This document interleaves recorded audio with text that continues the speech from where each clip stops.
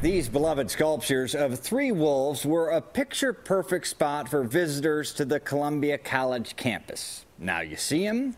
And now you don't. The sculptures replaced by piles of dirt and twisted metal after they were bulldozed without warning. CBS News' Eric Cox joins us live from Columbia's campus. And Eric, apparently this all happened because of a miscommunication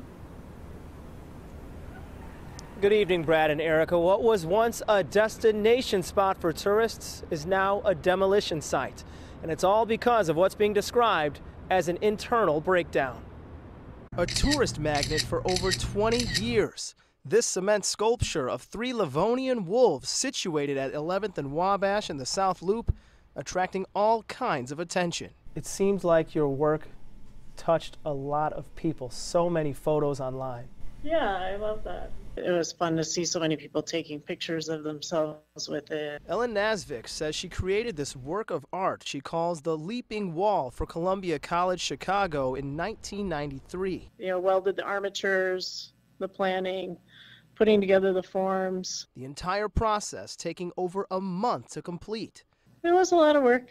Now, Nasvik's work is no more one of three sculptures destroyed earlier this week when the college started construction on a new outdoor space. Instead of being really sad about it, I guess I'm really happy that people enjoyed it for as long as they did. A Columbia College representative tells CBS 2 the college did reach out to some of the artists involved and also inquired about the possibility of relocating the pieces.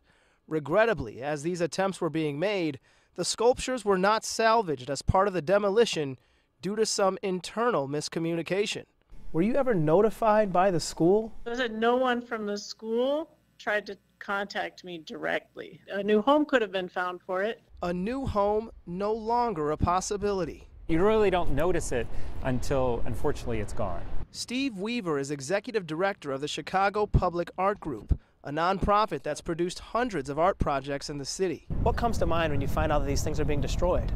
Oh, it's it's just a loss for the city. It's a it's a loss of our history, of our culture, um, and and really, it's it it can't be replaced. Can't be replaced. But Nasvik believes the school should offer up another opportunity to create something special for Chicago. I think that they should commission, you know, something new from the artist that they took down. Well, Nasvik now lives in the state of Idaho, but says she'd be more than willing to return here to Chicago if it meant she'd have an opportunity to create some more works of art. Meanwhile, a Columbia College representative tells me that the new space will feature a platform for performing arts, but they wouldn't confirm or deny whether or not any new works of art will in fact be commissioned by the school. We're live in the South Loop tonight. Eric Cox, CBS 2 News. Okay, Eric, thank you.